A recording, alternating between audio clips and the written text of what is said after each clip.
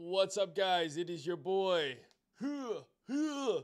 Trader Mayne. Um, here finally. I know it took a couple days longer. It was Canadian Thanksgiving on Monday. I had my family in town, and then I was full of turkey, so I didn't want to stream because I was full of so much turkey and stuffing. I was stuffed full of stuffing, so I didn't. And then I said I was gonna do it yesterday, and then I didn't. And then I said I was gonna stream, but guess what? You're just getting an uploaded video. I'm sorry. Last video we did was with Credible Crypto. Absolute banger. A cook. Um, you know, almost 20,000 views on that already. Great little interview if you're interested in hearing the thoughts of someone who's been in this a long time, like myself. A very successful guy, very successful trader. Let's talk about the charts. So, if you are in the Telegram or the Discord or the Haven or any of the places that I post, even Twitter, because I am so generous, um, I posted about the long idea basically, right? So, I mean, Twitter, I was a little more vague. I said, hey, you know, lose this demand, it's lights out right? On Telegram, I made it pretty clear, like I'm buying this. Um, and then uh, on Haven, obviously, stop entry target, the whole kit and caboodle. Um, so very nice reaction here, right? We had this range, swept the low, put in the H12 sweep, tag that. That was your long entry. Yet another entry here within the fair value gap. Uh, and then this thing just broke away, right? Fair value gap. That just tells you that this is a strong move uh, away and now we've taken out this high. Now the question is, what's next?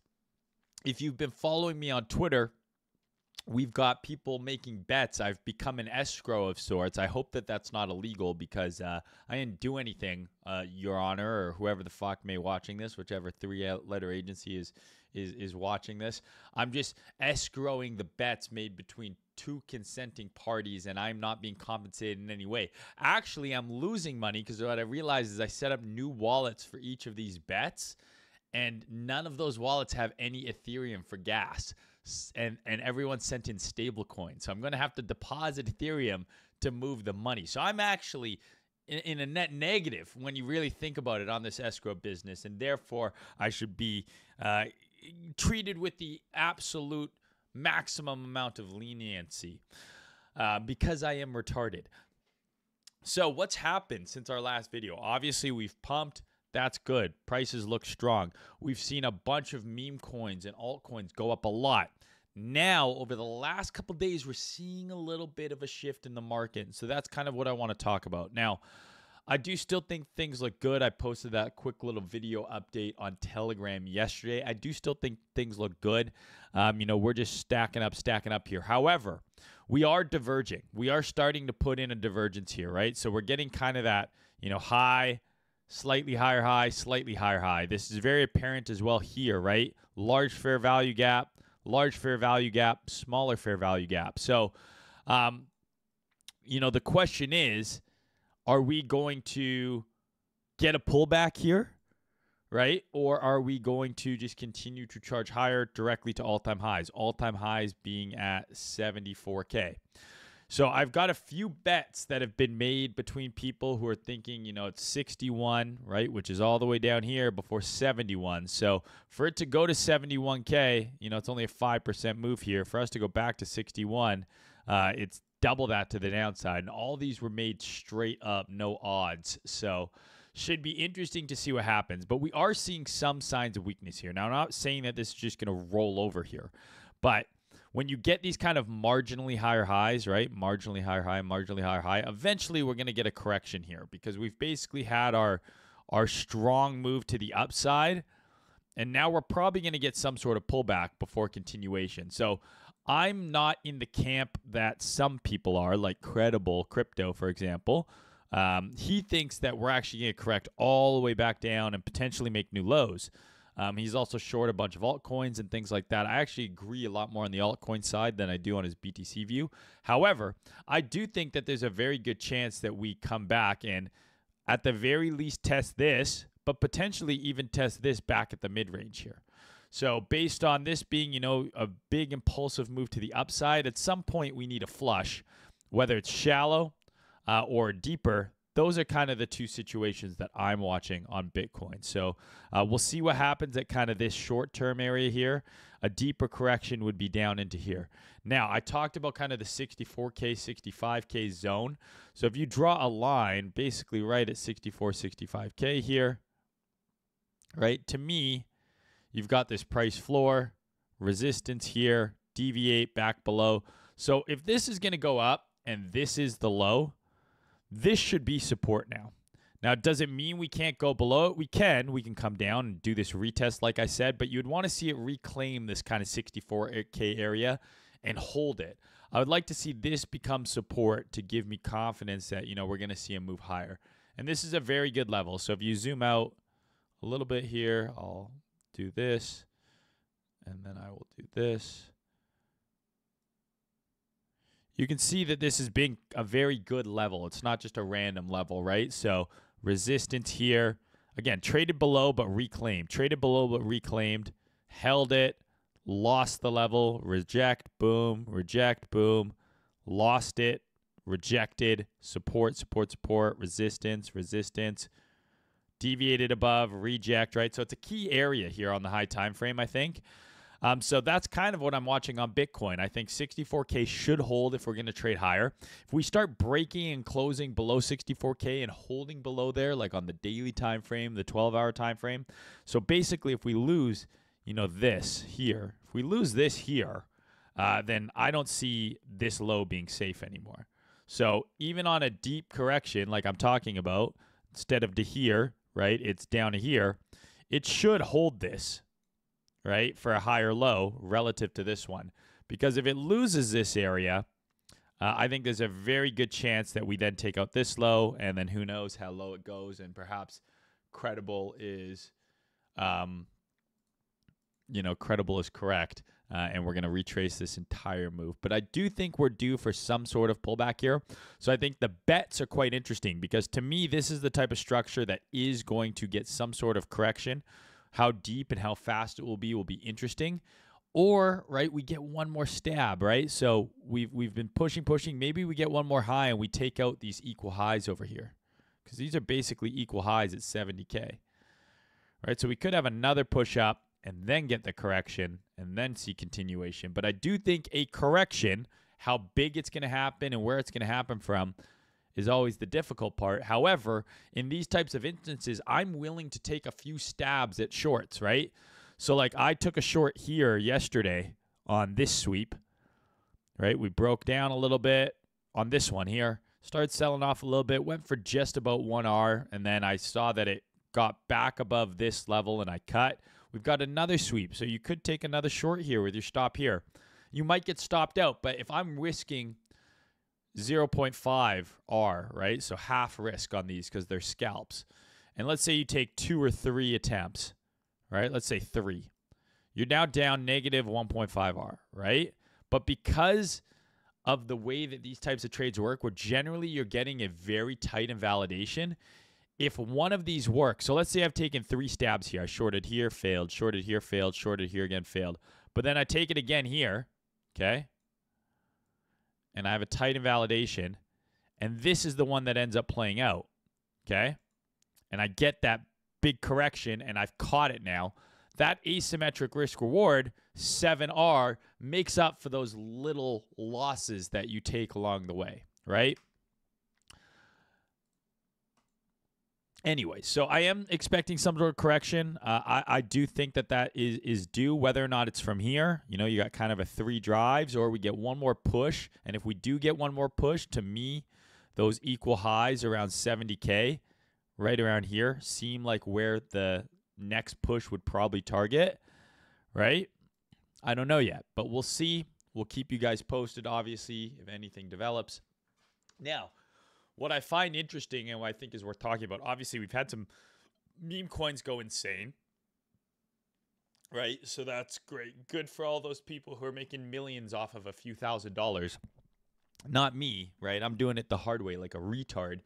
instead of just buying a meme coin with 2000 bucks and then forgetting about it and it going up 60,000% and making millions of dollars. Why why would I get why would that happen to me? Why would I be so lucky? It's not like I have any good karma from posting on this godforsaken website for years. You think they'd just let me catch one? Just one cooker, you know, just one. You know, and the ones that I sell, they go up. The ones I don't sell, I'm still holding them and they're dust. Anyways, um, but meme coins specifically, like you can look at FBTC as a proxy. You can look at Sol BTC, right? You can look at Sol ETH. Um, you can look at a lot of these altcoins that people were, you know, extremely bullish on. Oh, alt season's here. It's time to rotate your money into alts. They're underperforming versus Bitcoin because Bitcoin dominance actually looks like it's breaking out again and it's making another leg higher. And it is. So I do think that Bitcoin dominance can have another push up into here. Now, why is that important? Well, for a few reasons. One, if you were, you know, calling for alt season, not yet. Uh, a lot of these alt BTC pairs are going down still.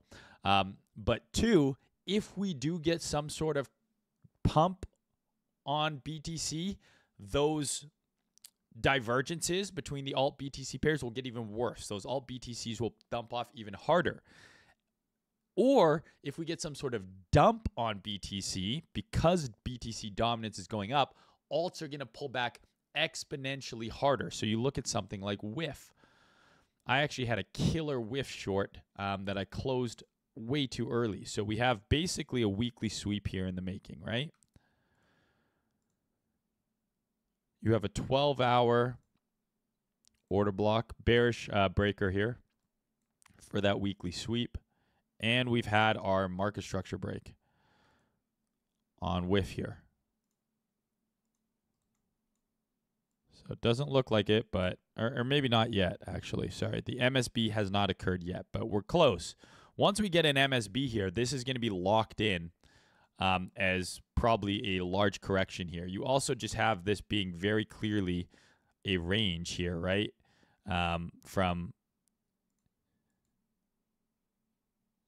the low to the high there, right? We've taken out the range high. And this is showing signs of being bearish. It's weak against Bitcoin. So if Bitcoin is going to pull back, something like WIF can nuke really, really hard, right? And I talked about this in previous streams. A lot of these altcoins, outside of a few, right? I'm not saying the meme coin that's up 10,000% is the exception to the rule. Of course it is. But a lot of these altcoins um, haven't made bullish market structure, right? They've all pumped a bunch, um, but they've pumped into lower highs. Where can I find a good TAO chart here? Right? So they've pumped into lower highs. They haven't made bullish market structure yet uh, on the BTC pairs. Um, you know, outside of a few of the memes, and I'm talking like the new memes, the memes that are on, um, you know, that aren't even on exchanges yet. Those have been going crazy for sure. But a lot of these older memes, Mew's been an exception. Popcat's been an exception, but pretty much all of these other ones, that's pretty much probably going to be a lower high for now. Pepe, lower high. Sheeb, lower high. Bonk, lower high for now. Um, so a lot of these other ones have been underperforming relatively uh, on this BTC move. Like, so yes, they've went up a lot from the bottom, but they're still underperforming relative to Bitcoin. So that's why I think that Bitcoin dominance chart should still be paying attention to it if you're trying to time your altcoins and stuff like that. If that thing makes another leg up, regardless of whether Bitcoin goes up or down, alts probably underperform, right? So if Bitcoin goes down, alts overperform to the downside. If Bitcoin goes up, they underperform to the upside. Not all, but most, right? So yeah, uh, obviously I'm hoping some of this fucking meme coin money flows into something with utility because me being the retard that I am, I bought AI coins, being like, oh, gaming and AI is going to be huge this cycle, uh, and I'm just getting under, I'm getting outperformed by a literal AI coin that launched a meme coin. Like I don't know, man. So we'll see. I'm gonna get back to the more active posting this week now that all the Thanksgiving food's been digested and things like that. But yeah, that's all I got. Let me know if you guys got any questions. I've been super active lately, guys. Telegram's going off, Discord's going off. Um, if you want to um, follow me on Instagram and TikTok, please do. I've been posting on those on stories and on TikTok almost every day, just talking through trades and just kind of, you know, quick market updates. I'm going to do some more just kind of content on there around talking about just trading shit in general. But we're trying to blow up on all platforms, as you guys fucking know. So if you want to support your boy, that's the best way to do it. Uh, but yeah, let's see how these bets play out. Most of the bets are 61K or 70K. What comes first? Looks like the 71K guys are in the lead right now, but that's yet to be locked in. This can still go up a little more and then sell off. Equities off this level we drew a few weeks ago just ripped. Uh, the dollar has also just ripped. The dollar is flying. So the question is, right? I talked about this reclaim here. You don't often see all three of these things go up risk, dollar, right? Crypto at the same time.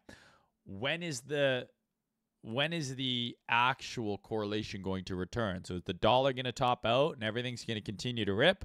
Or are equities and risk going to top out and dollars going to continue to rip? It's yet to be seen, but something to watch for sure. I know a lot of people were calling for doom and gloom. It's the end of the dollar right at the range lows.